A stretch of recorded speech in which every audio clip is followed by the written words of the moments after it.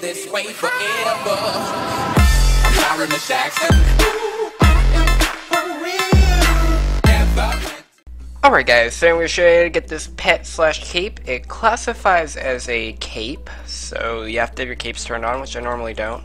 So, it's, uh, it's called the Ultra Flame Titan Spirit, and you get it at Lava Run. So, let's slash join lava run.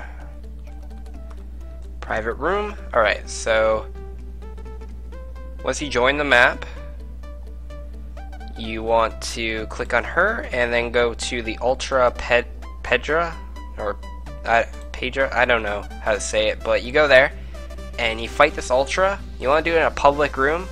Uh, I'm on J6, so there's no one here. But you fight uh, the Ultra Pedra and she drops the cape. Anyway, guys, thanks for watching the video. If you like this uh, this new cape, click the like button. And if you want more videos like this, subscribe to Korey AQW today. I do live streams almost every day. I upload a video almost every day. So, I'll see you in the next video. Peace out.